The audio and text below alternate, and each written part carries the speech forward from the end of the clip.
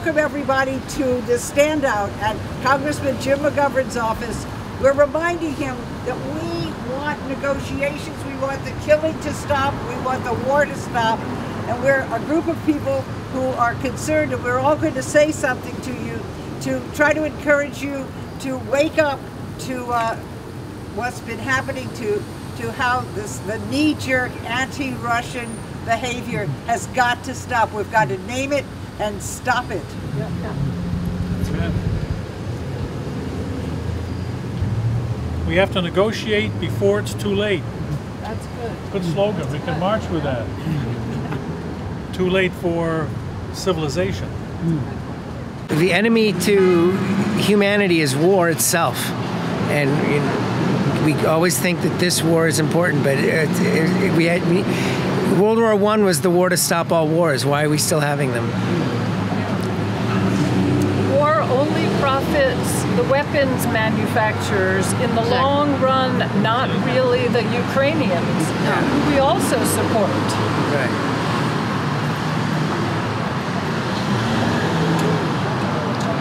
being on the brink being on the brink of a nuclear disaster is such a crisis also an opportunity to start diplomacy to end this nonsense. You know the united states unfortunately is such a violent country um, internally and externally. And we must, we must find the ways to change the, the seeds of violence and war making that are really strong in this country. To go back to our old ways of aggression and bullying other countries and, um, you know, like uh, folks here have been saying, this is the time we're really on the precipice of, of losing life itself. We must see this. We must realize we don't have enemies. We must not create them. We don't have enemies. What we have is, you know, the humanity that is living in one part of the world or another. Treat people with respect, and we can find our way forward. But as long as we keep putting people in these boxes called evil and so on, you know, uh, really there's no future. It's a very serious appeal to um, Congressman McGovern. You know, we, we have walked with you, you have walked with us, and we're inviting you to walk with us again. Please listen. It is a very, very deep and urgent cry to you. Please listen. Thank you. Um, we're just asking for diplomacy. We just want to hear conversations about ending conflict, not just funneling billions and billions of dollars into it in the name of violence. We're just asking uh, for that conversation to happen, and we're here uh, at Congressman McGovern's office to seek him to be a forerunner in this conversation, to even just sign this simple letter um, seeking resolution. Hi, Rich. 60 years ago this month, uh, President Kennedy reversed course and found a way to avert a nuclear confrontation with the Soviet Union. President Biden yesterday said Putin needs an off ramp, and it is the United States that needs to provide that off ramp. And at the beginning of the war, the United States and United Kingdom prevented negotiations that were near to success. So we're hoping when we meet with um, Congressman McGovern uh, on Wednesday, he will take a message that our president needs to reverse course like President Kennedy did. President Biden can follow that example because the stakes could not be higher. We are very close to a nuclear war in which none of us would survive. Yes, we want to see negotiation and, and diplomacy, and you can't negotiate if you don't talk to each other. That should not be ruled out to begin with in order to make sure that nothing less than something awful happens.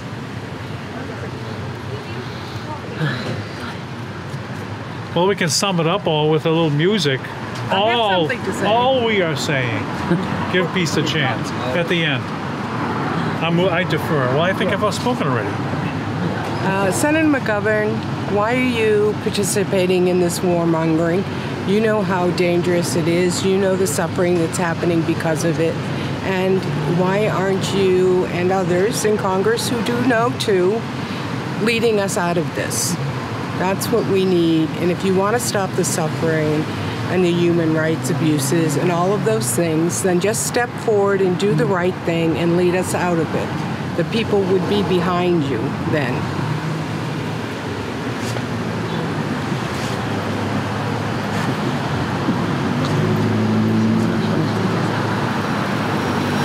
Um, yeah, we're looking forward to meeting with Congressman McGovern's office next Wednesday, and we really appreciate having been able to work with him the last few years on other really important issues like humanitarian issues in Venezuela and lifting the sanctions. And I know that Congressman McGovern has also been a champion of speaking out against hunger in this country, and the billions and billions and billions of dollars that we're sending to Ukraine in a needless war is money that also could be going to feed hungry people in Massachusetts. And so there is no need for a war. What we've been asking, myself and several other constituents have been emailing McGovern's office, reaching out to McGovern's office, asking him as a starting point to sign on to a letter that's already circulating in Congress with Rep. Jayapal, just talking about the need for negotiations and asking the United States to take a position of peace in ending the conflict. And all war, other people have said this as well, all war is against, you know, against the interests of humanity. It's money that can always be spent for to you know to reduce and eradicate hunger, for housing, for all these things that people here and Ukraine and across the world desperately need. Um, and this war in particular is extremely worrying um, because it has the potential to set off a nuclear war that we've never seen before. And when you really start to look at that, I recently learned more. I mean, I wasn't around the last time, you know, during the Cold War. It was before my time.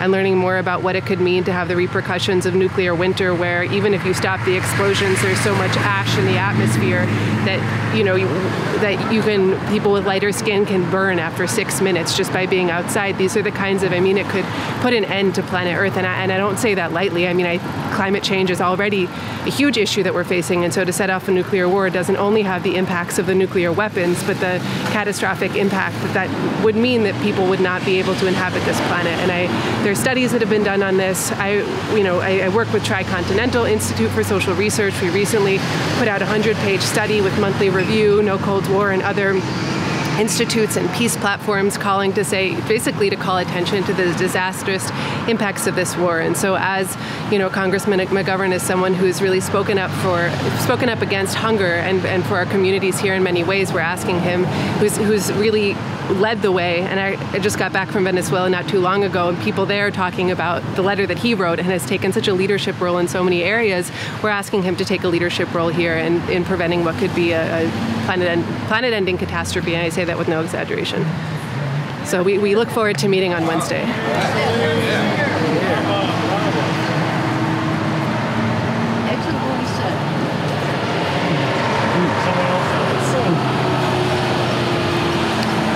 Hi, I'm um, Tax refuser and a conscientious objector to all warfare. So, of course, I'm against this war. And yet, I understand that many, many, many wonderful, caring people believe in the concept of a just war, and um, who actually really want to protect people, and sometimes uh, go along with that concept. But um, I'm reminded of uh, Howard Zinn, uh, the historian, uh, who was a bombardier during World War II. Uh, a quote that I often go back to and remember that he said, which is uh, that modern warfare is the worst enemy of all. And I think that's what we have to we have to look at who really is the enemy here. And um, in terms of human beings, we need to talk, we need to negotiate, and not let war, the worst enemy, have the last word.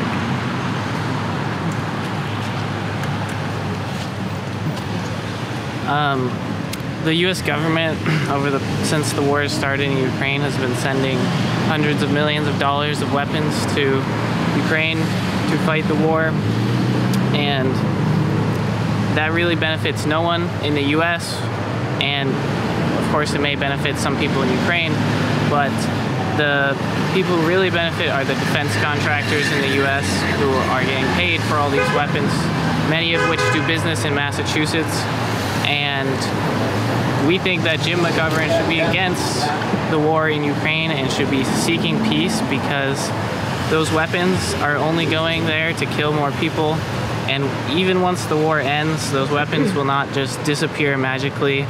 There will be much violence afterwards because weapons will be readily available to anyone who wants them.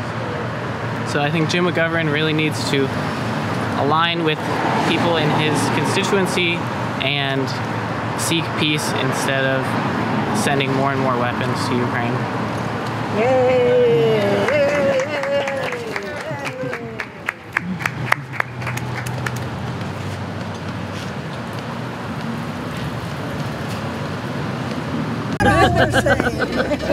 Just to underline what you said about that he's hunger, this is directly against his issue for hunger. And he went to this uh, weekend at Hadley for climate change. He's totally advocating for that. Yeah. This goes directly against those principles. I mean, to, to be for a war. Tying those two together, as Yeah, they said, seems key. be, yeah. For, to involve more young people. Yeah, yeah. Representative McGovern, we want food, not war. We thought you wanted food also. All right, Peter, go ahead. No, can I say one, just one last thing? That uh, if you all know Claudia and Nick Moturn and myself, we just put together a march with Monty's March, you know, for that, that's coming Come in, Susan, right? It's coming in November. Please come and join us. We, we're going to set up an hour, hour for November 21st. We're going to set up an hour. I mean, a mile walk in and out of Northampton, following Monty, and bring your signs. Um, you know, my sign it says bloated military, hungry children. All right. So, and but there'll be others. Uh, well, I think the theme, children, not war. right? The theme is food, food, not bombs. Right. And the bread, not bombs. Right. That's it. That's the theme. By so anyway, it's going to be November 21st. So there, Well, there that's is an one more appeal to, to McGovern that, that I want us to make. That McGovern grew up learning about the Cold War. Many of us who are here lived through it, and he was certainly has certainly been influenced by it. He has changed his attitudes towards so many things. His stance toward hunger, his, his stance toward Latin America. We heard about how he changed his mind about Venezuela. Uh, the anti-communist, the anti-Russian narrative of this country has got to be further shattered. Some of us thought it had been, but obviously the knee-jerk reaction is back. Mainstream media keeps saying it's Putin who is crazy. It's those terrible Russians. It's the terrible it's the terrible communist Russians. And everybody who is my age, 60s and 70s, heard that time and again. And now we need to say, no, this was just a bunch of baloney. And so we're imploring our congressman who knows better, who knows better, who's witnessed with Oscar Romero in, in El Salvador, who has been uh, in the front lines all over Latin America, to continue that, to know, I mean, he stood with the Cubans for God's sake. You know, he's he's the champion of the Cuban people in this country. He stands against and, and, and challenges the President of the United States about Cuba. So come on, Jim, get with the program. And and remember that it's really the, the enemy, as, as people have been saying, is war. It's not Putin. It's not it's not even our military. It's war itself. We have to dismantle both the military and and wars. Bravo! Give us a song. You ready, Mikey? Say give peace a chance. All we are saying is give peace a chance. All we are saying Is give peace a chance. Because we're saying a little bit more, we're saying paz, queremos paz y libertad en este mundo. Paz, queremos paz y libertad en este mundo. Translated, Peace, we want peace and liberty throughout the whole world. All right, peace. Give us peace. So thanks. Come back and see the uh, congressman on Tuesday and uh, join Monty's March on the Join Monty's 21st. March. There'll be something about that. Um, coming soon. yes. Wednesday at 2.30? yeah, 2.30. Wednesday at 2:30. Fuck, is there room enough to meet inside? Oh, we're going to meet outside probably. You know, the, he, this is one of the things that McGovern has done. He's met with us outside. He has had conversations with us. He has had his mind changed. Thank you so much. You can do it again.